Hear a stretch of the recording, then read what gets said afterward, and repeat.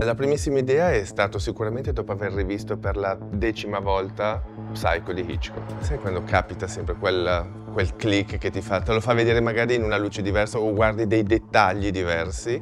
e da lì ho incominciato a riguardare un po' una serie di film di Hitchcock ed è diventato da lì proprio deciso che poteva essere l'ispirazione della, della prossima collezione innanzitutto quello che mi attirava sono sempre un po' le silhouette sue, dei suoi personaggi femminili. Quindi abbiamo, siamo partiti proprio dai capospalla, cercando di togliere tutto quello che potesse essere comunque retro, tutto quello che potesse fare vintage e rivederlo assolutamente in una chiave moderna.